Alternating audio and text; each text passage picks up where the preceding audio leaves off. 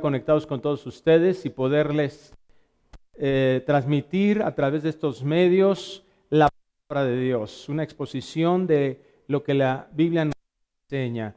Y en esta serie de Vence el temor, la semana pasada nos quedamos ahí a la mitad y hoy vamos a concluir la, el tema de dependiendo de Dios. Dependiendo de Dios, segunda parte. Y hemos estado hablando acerca de el mundo en el vivimos nos impacta en relación a muchas situaciones que nosotros experimentamos, específicamente en relación al cambio, cuando tenemos nuevas responsabilidades, cuando Dios nos ha llamado a servirle, cuando Dios nos ha hecho entender que el servicio a Dios no es cualquier cosa, es un llamado profundo. Y una de las cosas que tenemos que evitar en nuestra mente, desechar para poder vencer ese temor, es de igual forma renunciar a la victimización, es decir, a estar ciclados en sentirnos que somos víctimas de la sociedad, víctimas de los abusos, víctimas de autoritarismo. Claro que no tenemos que negar que esa es la realidad de la condición de pecado del hombre. Seguimos cometiendo pecados, dañamos a otras personas, muchos otros nos pueden dañar, es una sociedad que nos daña por su propia condición, pero eso no nos hace que nosotros nos ciclemos en una condición de adversidad y sentirnos los que necesitamos de ayuda de todo el mundo y que nos estén ahí ah, solo consintiendo, si nos demos cuenta que nosotros, aun cuando hemos recibido ayuda de otras personas, esa ayuda tiene que tener una específica forma de expresión, que es el verdadero amor. De lo contrario, como mencionamos la ocasión pasada, somos susceptibles al engaño, a la manipulación, a personas que nos van a estar eh, eh, buscando exprimirnos, eh, demandándonos porque, pues como nos han dado beneficios, como han estado ahí, entonces ahora tú tienes que corresponder a eso. Eso no es amor. El amor es absolutamente fuera del egoísmo. El amor implica el beneficio incondicional y aún en las adversidades, en las peores adversidades. Entonces nosotros tenemos que aprender que este es el ejemplo de Cristo y voy a volver a leer Colosenses 1:24 para darle continuidad al estudio de la palabra de Dios, porque la única forma en que nosotros venceremos temores en nuestras vidas y principalmente cuando enfrentemos situaciones que podamos darnos cuenta que somos incapaces, que nos está faltando currículum, nos está faltando economía, nos está faltando inteligencia, tenemos que darnos cuenta que todo lo que hacemos es para glorificar a Dios y tenemos que tomar la decisión de depender de Él. Dependiendo de Dios, venceremos este tipo de temores. Colosenses 1.24 lo expresa así el apóstol Pablo.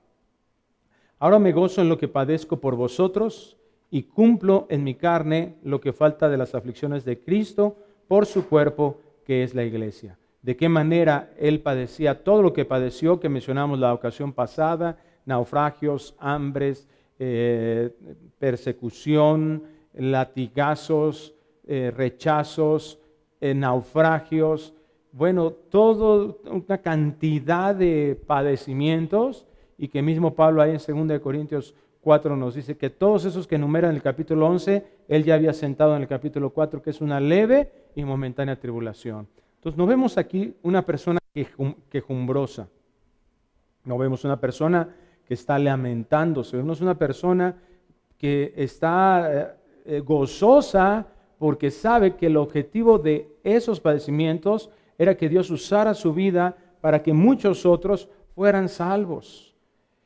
Y por eso dice el versículo 25, de la cual fui hecho ministro según la administración de Dios que me fue dada para con vosotros, para que anuncie cumplidamente la palabra de Dios. Ahí está, ahí está el propósito. Sí, por eso me, me gozo ahora que todos sus padecimientos tenían un objetivo prioritario en compartir la palabra de acuerdo a lo que Dios me, le había encargado a Pablo. Y es el mismo llamado hacia nosotros. Si nosotros sufrimos en este mundo, si estamos padeciendo, que sea porque estamos ejemplificando aquí en la tierra la vida de Cristo. Estamos sustentados por el Espíritu Santo para mostrar el amor, el perdón, la gracia de Dios. Y dice aquí, sigue diciendo el apóstol en Colosenses 1:26, el misterio que había estado oculto desde los siglos, pero que ahora ha sido manifestado a sus santos, a quienes Dios quiso dar a conocer la riqueza, la gloria de este misterio entre los gentiles, que es Cristo en vosotros, la esperanza de gloria.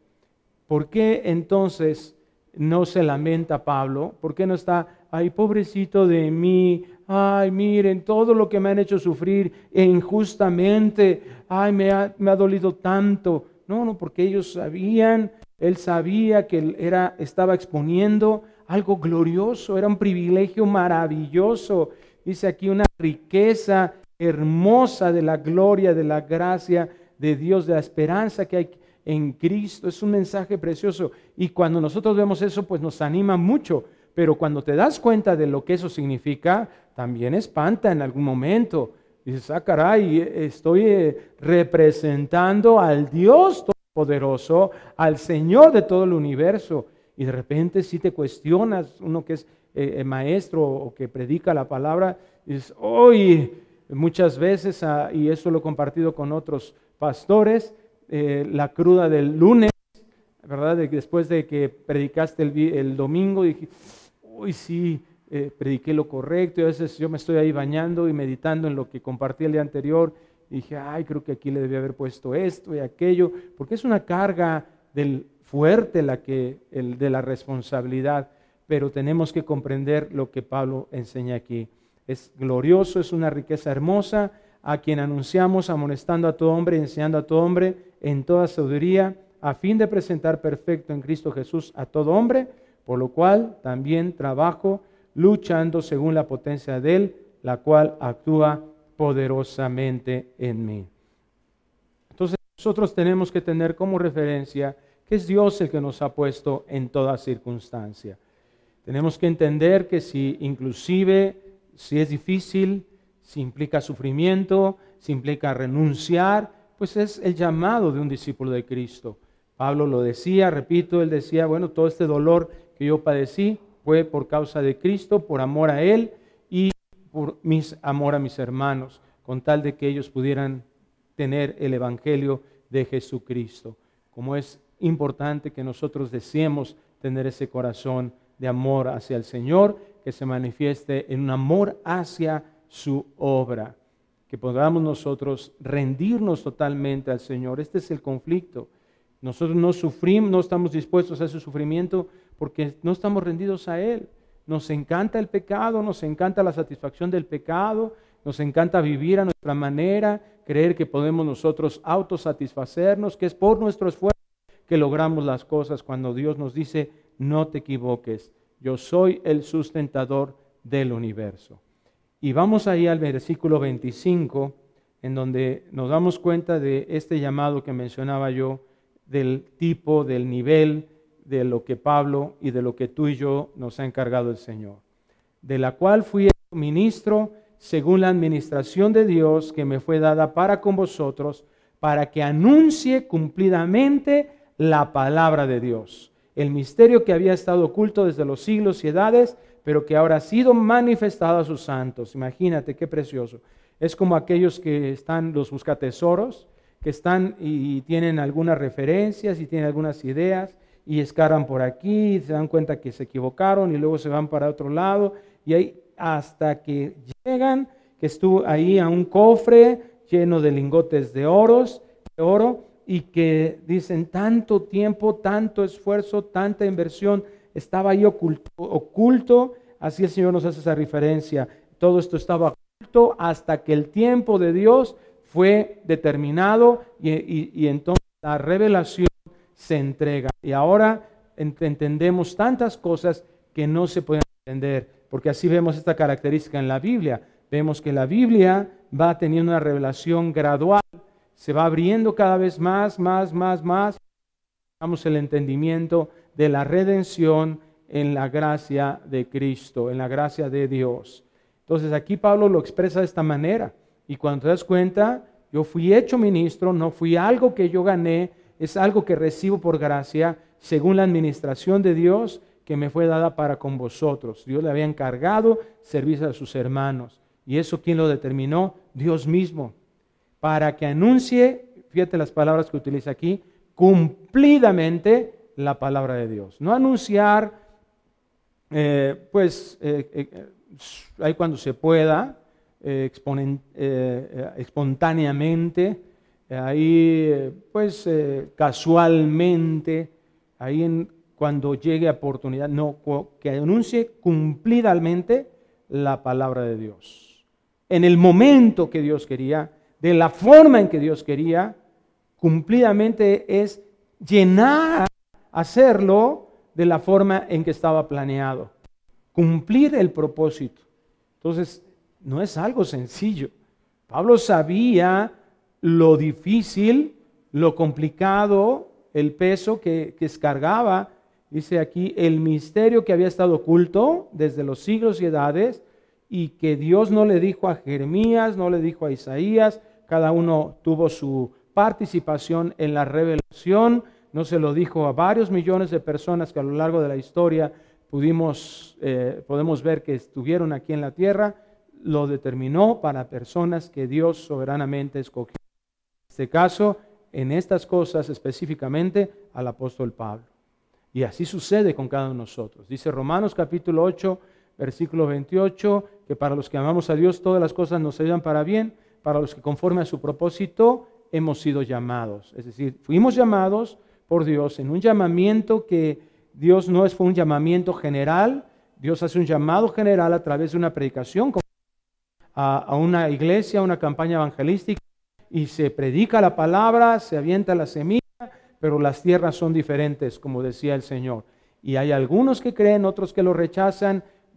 ¿Quiénes son realmente? Dios lo sabe, pero nuestra obligación es eh, esa semilla. Ahí está un llamado general. Muchas personas escuchan la misma predicación, escuchan el mismo mensaje en el mismo momento, pero solamente algunos son los que responden a ese llamado general que se vuelve un llamado eficaz, específico donde interviene Dios, el Espíritu Santo, quitando ese velo y haciendo que esas personas puedan tener la comprensión que en nuestra naturaleza no podríamos. Tito 3.5 lo explica también. El Espíritu Santo actúa sobre eso. Jesús también lo dijo en Juan 14, El, el Espíritu Santo les enviaré para que convenza de pecado, de justicia y de juicio.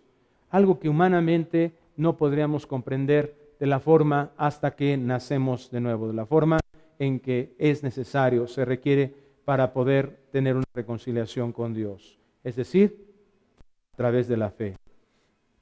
Entonces este encargo no es algo sencillo, es algo de oposición. Este encargo implica no algo terrenal, no una pérdida eh, económica, una ganancia económica, implica la eternidad de una persona. Entonces es, el encargo no es simple. El encargo no es sencillo. Y es ahí donde nosotros tenemos que evaluar a qué fuimos llamados.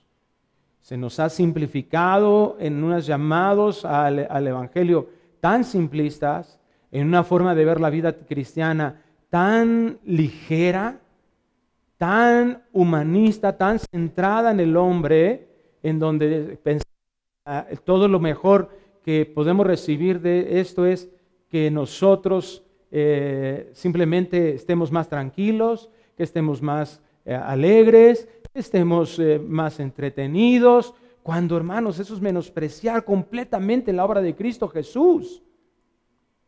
Fíjate, Pablo habla de gozo. Y vemos ahí que los apóstoles en la primera iglesia son llamados, Pedro y Juan, ante un concilio de judío y ante el Sanedrín, son llamados y les dicen, ¿por qué estás predicando esto? Y, ellos responden con la palabra de Dios. Y bueno, miren, ya les ordenamos que no lo hagan. Y pum, les dan unos latigazos. Y salen de ahí, ¿qué, ¿cuál es su expresión? pobrecito de mí, ay, esto, ¿por qué sufro tanto? Ay, ¿por qué Dios? ¿Por qué no actuaste sobre ellos? ¿Por qué les dejaste que nos golpearan? Ay, Señor, no entiendo, no entiendo por qué mi vida es así. Ay, yo no sé por qué sufro, Señor. ¿Qué, se levantaron los apóstoles? ¿Cómo que qué iban diciendo? Voltea con Juan. ¿verdad? Pedro le dice, wow, wow, porque somos llamados dignos de ser azotados, de sufrir dolor, de padecer por el nombre, por la causa de Cristo. Qué impresionante. ¿Qué hace? ¿Qué sucede de personas que habían demostrado ser unos cobardes, miedosos, de ser unos egocéntricos? La diferencia es el Espíritu Santo en sus vidas. La diferencia es que fueron regenerados. La diferencia es que la palabra de Dios ahora se vuelve comprensible, se hace entendible que nuestra vida no está para estar nada más desperdiciándola aquí en la tierra, si nuestra vida tiene un propósito eterno. ¿Y qué dijeron ellos? Esto es eh, impresionante, ese es el llamado. Pero ¿en qué momento lo vemos así de valioso? Hermanos, ya es el tiempo en que tenemos que dejar de estar jugando a la iglesita y cumplamos el encargo que Dios nos ha dado de llevar la verdad, de sostener la verdad, de guardar la verdad, de imponer la verdad, no importa. Me, impresiona que hay personas que dicen, no, no, ay, ¿por qué nos peleamos para la doctrina? ¿Por qué? Ay, no, no, eso provoca división. Pues, pero es que esa es la labor que Dios nos ha encargado. Columna, evaluarte la verdad, es la razón de la iglesia. Tenemos que estar nosotros buscando esa verdad y vivir esa verdad con la ayuda del Señor. En Lucas 14, 28, este es el llamado que Dios hace a nuestras vidas, que Cristo específicamente expone a sus discípulos, pero ve el nivel, ve el estándar de la perspectiva que tú y yo tenemos que tomar al respecto. Dice Lucas 14, 28, porque ¿quién de vosotros, queriendo edificar una torre, no se sienta primero y calcula los gastos a ver si tiene lo que necesita para acabarla? Esto es entendible. Primero tienes que saber, bueno, quiero construir una casa, ¿cuánto me va a costar? ¿Cuánto tengo que invertir? ¿Cuánto tengo que trabajar por eso? Oye, el que se quiere casar, oye, pues ¿cuánto tengo que ganar? ¿Cuánto tenemos que ingresar? ¿Cuánto tiene que haber ahí para hacer una boda? Claro, si no, imagínate, te quedas a la mitad.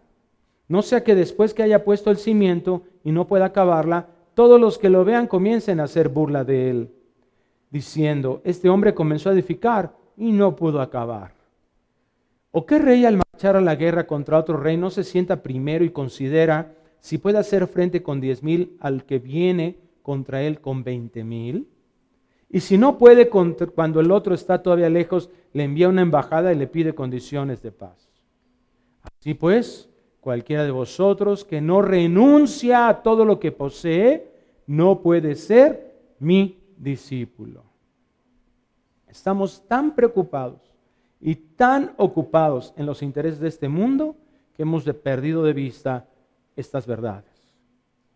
Comenzamos a tener tanto valor a lo económico en esta sociedad materialista y que nos ha contaminado contra la honestidad hemos dado demasiado valor al dinero, se le ha dado demasiado valor a los bienes, se le ha dado demasiado valor a la economía, se le ha dado demasiado valor e inclusive yo diría es un ídolo la comodidad.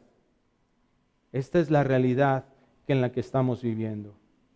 Pero esta no es una característica de un verdadero seguidor de Cristo. Ahí en Lucas capítulo 8, versículo 14, Jesucristo les enseña una parábola del sembrador. Y después los discípulos dicen, no, entendimos bien. Y entonces les pide la explicación. Y entonces Cristo aquí le da la explicación. Pero hay una de esas explicaciones de aquellos que realmente no recibieron la palabra, parecería que sí, pero no. Y dice el versículo 8:14, la que cayó entre espinos, estos son los que oyen, pero oyéndose son ahogados por los afanes y las riquezas y los placeres de la vida y no llevan ¿Por qué no llevan fruto? Porque no son hijos de Dios. Esto, repito, no es entonces aquel que tiene sus valores puestos en esta tierra, no puede ser discípulo de Cristo. Noé tiene esas características. Hay cristianos, iglesias, líderes, pastores, que empieza a haber un ingreso dentro de sus congregaciones, dentro de sus vidas. Y mira, eso hemos, lo hemos visto y testificado hasta dentro de iglesias cristianas. Ha provocado divisiones, desviaciones, altos recursos económicos llegan a desviar el corazón de muchos siervos de Dios y comienzan a extraviarse. ¿Por qué? Porque dejaron de ver hacia el cielo, hacia lo eterno, y comenzaron a mirar lo que aquí está en la tierra. No es nuestro llamado. No es nuestro llamado darle importancia, tanta importancia a eso. Cristo lo dijo. ¿Por qué te preocupas? ¿Por qué, te, por qué os afanáis? Hombres de poca fe. Ese afán por los recursos de terrenales es porque no se ha purificado nuestra fe, porque no le hemos dado los recursos para que crezca, que es la palabra de Dios y confiar en sus promesas. ¿Por qué os afanáis? ¿Por qué preocupáis? Oye, no voltea a ver las flores del campo. ¿Quién las viste? Tan hermosas. Voltea a ver los pajaritos. ¿Quién les da alimento? He visto que se mueren aves de, por la contaminación, he sabido de eso, pero no he visto ninguna que se muera de hambre, de inanición, porque Dios lo sustenta. Y dice Jesús, ¿no valéis vosotros más que un ciento de esas aves? ¿Qué es la comida? ¿Qué es el vestido en comparación a la vida y al cuerpo? ¿Quién lo cree? Cuerpo Dios? ¿Por qué dudamos que lo sustente? ¿Por qué estamos tan ocupados en eso? En estos tiempos de pandemia llenos de tantos temores, de miedos, somos hijos de Dios y Dios va a cumplir su propósito en nuestras vidas y lo que quiera hacer, pero lo importante es que no dejemos de predicar el Evangelio, de hablar las verdades de Dios, de sembrar en el corazón de otras personas la bendición que es la palabra de Dios. Salomón. Ahí tú ves en el de Reyes que dice, inicia ahí el capítulo diciendo que fue desviado su corazón por las mujeres paganas. Pero tú ves un capítulo antes, y no es casualidad que el autor tome como referencia el final del capítulo antes, dice que Salomón fue como el cimiento que el cimiento de su caída, de la construcción de su soberbia para caer que dice ahí que tenía plata como piedras, que tenía caballos, pero a montones. O sea, su riqueza fue también un factor. Algunos dicen, ay, no, el dinero no es problema, el, el problema es el amor por el dinero. Sí, pero cuando se acumula, estamos demostrando ese amor. Cuando nosotros no tenemos un límite al respecto, es lo mismo que el alcohol. El problema es el alcohol, que tomes una copa de vino, que tomes una cantidad corta de alcohol. No, el problema es el límite que tiene. Si tú excedes ese límite ya es pecado. Igual con el dinero. Si ese dinero se comienza a ser tu seguridad, si comienza a ser la razón por la que tú crees que están reconociendo tu vida, eso ya es un ídolo, eso ya es avaricia en ese momento. Si a ti te hace más, te hace sentir más eh, tranquilo, si tú pones tu confianza si tú crees que eso es lo que te hace una mejor persona, tu casa, tu auto, tú eh, no tener deuda, todo eso eh, en relación a lo económico, a los bienes, ya es un ídolo, ya es avaricia, es idolatría. Cualquier cosa en este mundo que se convierte en un mayor valor o en una confianza que no sea Dios, que no esté primariamente en Dios, sin engaños, porque tendemos a eso engañar. No, sí, sí, yo sé que es Dios, yo sé que es Dios. A ver, ¿qué pasa si te lo quitaría Dios? ¿Cómo estarías? Entonces, tenemos nosotros que ser honestos también en todas estas cosas.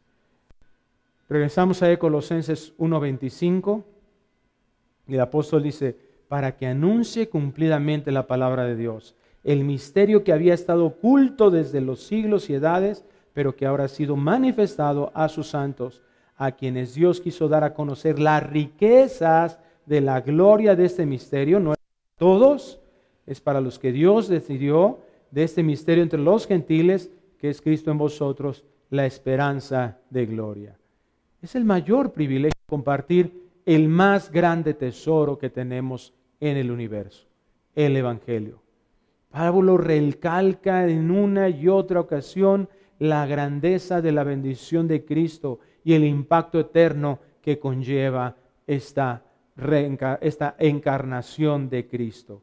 Ese es el grado de importancia que nosotros tenemos que darle, que deberíamos darle en la inversión de nuestras vidas, no en nuestras palabras. Sí, Señor, cuando estamos ahí en la mitad de la oración, la adoración, el tiempo de adoración en la iglesia, un momento, ah, sí, Señor, tú eres lo número uno, tú eres lo número uno, Señor, pero ¿cuánto te, te dedico tiempo en mi diario, en mi día a día? Ah, tú eres lo número uno, pero llevo dos años sin diezmar, sin ofrendar a la iglesia a la obra de Dios. Sí, tú, eres lo número uno, Señor. Ah, sí, wow, qué hermoso, tú lo más grande. ¿Y cuándo fue la última vez que hice un discípulo que participé, usado por el Espíritu Santo, para predicarle a alguien y mantener un discipulado con esa persona? ¿no? Todo está en mis logros, en la lana, en qué coche me voy a comprar, en cómo le hago para esto, cómo le hago para salir de las deudas. Todo nuestra ocupación y nuestro tiempo, nuestra inversión de vida es en relación a nosotros mismos. Y ve lo que dice el versículo 28, Colosenses 1:28. Tenemos que valorar eso lo más grande, lo más hermoso. Ay, pastor, pero mi trabajo, ¿qué no es importante?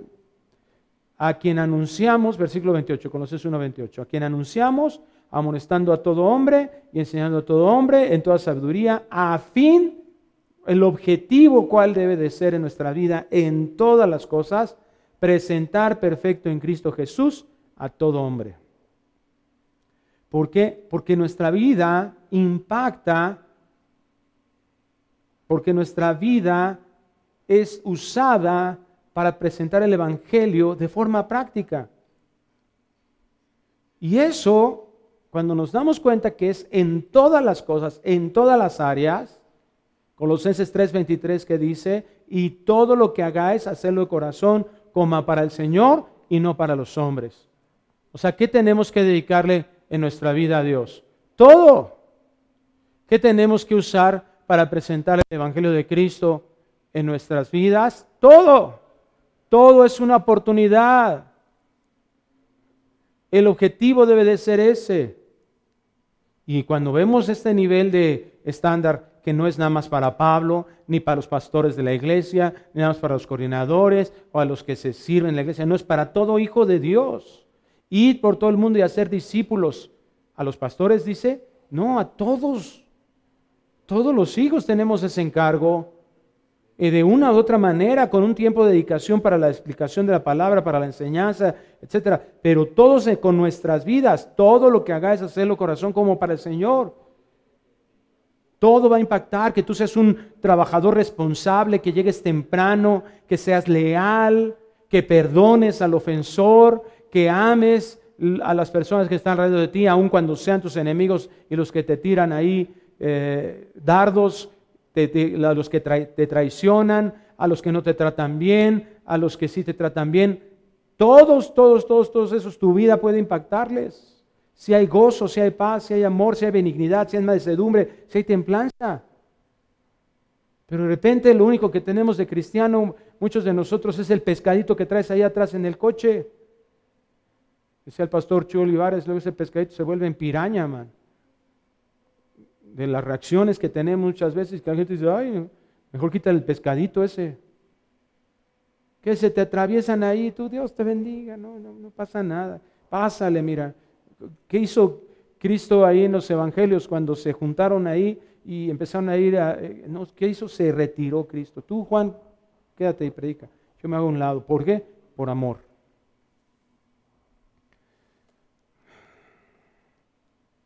Todo, todo responde en todo lo que hacemos, plasmamos el Evangelio. Para algunos esto puede llegar a sonar como fanatismo, pero Dios es amor y esperanza en lo eterno. ¿No lo entiendes así? Tal vez es porque no has nacido de nuevo. O tal vez naces de nuevo, pero no estás escudriñando la palabra. La verdad no está siendo tu guía. Si un encargo terrenal nos puede impactar, cuando entendemos esto puede agobiar nuestra vida. Podemos decir, ah, caray, qué tan, está, está dificilísimo, está durísimo.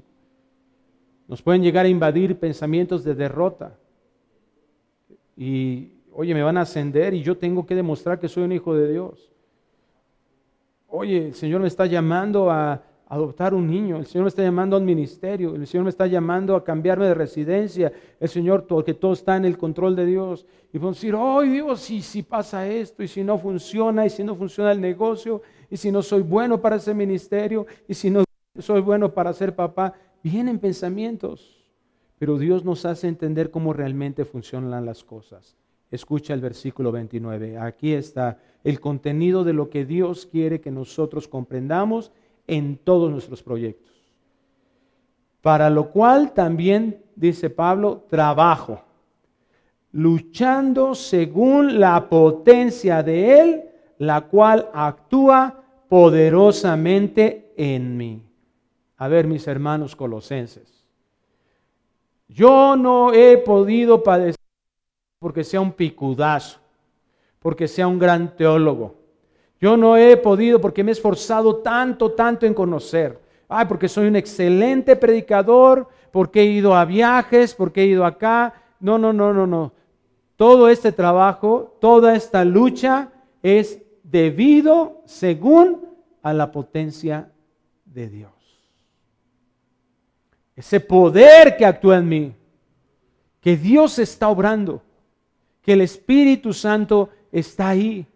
Y saber que Dios está obrando combate el miedo, que el Espíritu nos guía y nos ayuda, que eres el paracletos para que está ahí ayudándonos, consolándonos, haciendo la obra en nosotros, convenciéndonos de lo que es correcto, de lo que es recto, lo que es justo para Dios. Entonces no vamos a tener miedo. Saber que Dios te está ahí acompañando constantemente, guiándote, todo el miedo se va. Podemos poner a un lado el temor, de acuerdo a lo que acabamos de leer, si estamos seguros de la obra de Dios en nosotros. Si estamos seguros que Él está actuando en nuestras vidas. Si estamos seguros que Él nos llamó si estamos seguros que su gracia se convirtió en irresistible, aun cuando nosotros la resistimos mucho tiempo, Él dijo, este es el momento en que yo te he llamado para ser mi hijo y yo voy a usar tu vida. Estamos comprometidos, todo temor se va a un lado si estamos comprometidos con sus objetivos y no con los nuestros, con su agenda y no la nuestra. Trabajo luchando según la potencia de Él, la cual actúa poderosa en mí. Mira, se quita el miedo de que nuestro trabajo será inútil. Se quita el miedo de que no va a haber dirección, de que estamos mal dirigidos. Se quita el miedo a perder la salud. Se quita el miedo a no tener prosperidad. Se quita el miedo al error. Se quita el miedo cuando sabemos que es según su poder y no el nuestro. Por eso la autosuficiencia es tan grave en un hijo de Dios. En el que llegamos a pensar que, ah, yo, pues es que sí, sí, Dios, gracias a Dios, pero Dios me hizo muy inteligente. No, mira, ahí ya no estamos entendiendo la gracia. Porque dice 1 Corintios 1 que de lo vil y menospreciado llamó el Señor. Y si todo está sostenido por tus capacidades, porque tú crees que tienes muchos dones, porque tú crees que tienes muchos talentos, ya no le estás dando la gloria a Dios. Es el poder de Dios que actúa poderosamente en cada uno de nosotros. Dios ha prometido y nos da ese entendimiento en su palabra que su obra permanecerá a través de nosotros. Es un privilegio hermoso, es una promesa de Dios. Dios nos dijo, yo quiero usarte a ti, yo te voy a usar a ti. Y por eso en todo lo que nosotros hacemos, en tu casa, en la iglesia, en tu vecindario, en tu ciudad, como ciudadano, como empleado, en, como amigo, como esposo, como padre, como hijo, en todo lo que hacemos, mostramos a Cristo. Vivimos el Evangelio y por ello confiamos que en todo tenemos su ayuda. Si ese es nuestro objetivo, su poder nos va a dirigir y dará fruto cumpliendo su propósito si decidimos vivir dependiendo de Dios. Padre, muchas gracias por tu palabra. Danos la capacidad de entender. Para muchos estas frases de la escritura han sido dignas de un entendimiento, una interpretación que acomode a no sufrir. Pero es tan insistente, Señor, tu llamado a que no nos importe sufrir. No a que provoquemos sufrimiento, pero sí a estar dispuestos a padecerlo, de una o de otra manera. Actualmente tal vez no es, actualmente no es, no estamos viviendo la mayoría de nosotros algo físico, son pocas las personas que están viviendo una persecución física, Señor, pero si hay una persecución ideológica en la que muchos de nosotros estamos siendo derrotados. Nos está importando demasiado nuestra reputación, las cosas de esta tierra, antes que exponer, que defender, que sostener la verdad. La verdad que está en tu palabra. Para muchos, Señor, esto ha sido una razón de acomodarse a un cristianismo, a un pseudo cristianismo mediocre. Padre, perdónanos y ayúdanos para que ahora seamos guiados por ti y que tengamos esa valentía de levantarnos con tu poder, no con soberbia, no envalentonados, no, una verdadera valentía guiada por amor, en paz, en gozo, pero que sí muestre el poder que actúa en nosotros, con firmeza. Te pedimos, Señor, que hagas tu obra en nuestras vidas y que tu nombre sea exaltado y glorificado para tu gloria, Señor, en todo lo que hacemos. Mostremos quién eres tú, el Evangelio de Jesucristo, lo apliquemos día con día en nuestras vidas. Te lo pedimos por los méritos de Cristo Jesús. Amén y amén. Esperando que estas palabras sean de bendición, de edificación, les mandamos un cordial saludo, un abrazo para todos ustedes. Les amamos mucho. Que Dios les guarde.